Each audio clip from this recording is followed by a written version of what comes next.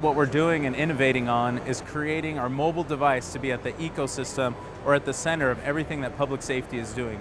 So one device taken from in-vehicle, in-field, in-station. So Samsung's DeX technology is allowing us to do this, and DeX is for desktop experience. So be able to take a mobile phone,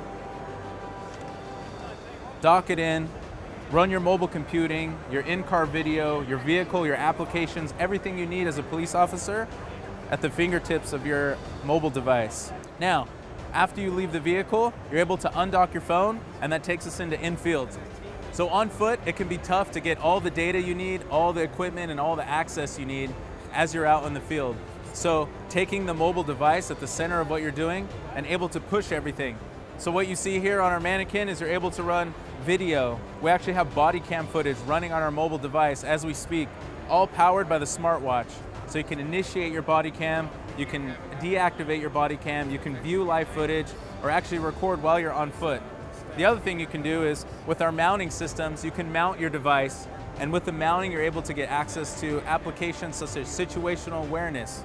You can get applications such as CAD, computer automated dispatch, to be able to get real-time alerts and real-time information while you're out on foot and on the go. Now, taking all this information and input while you're out in the field, at the end of a shift and the end of a day, you may, be, you may need a keyboard and a monitor, or you may want to sit in a different situation, such as in office.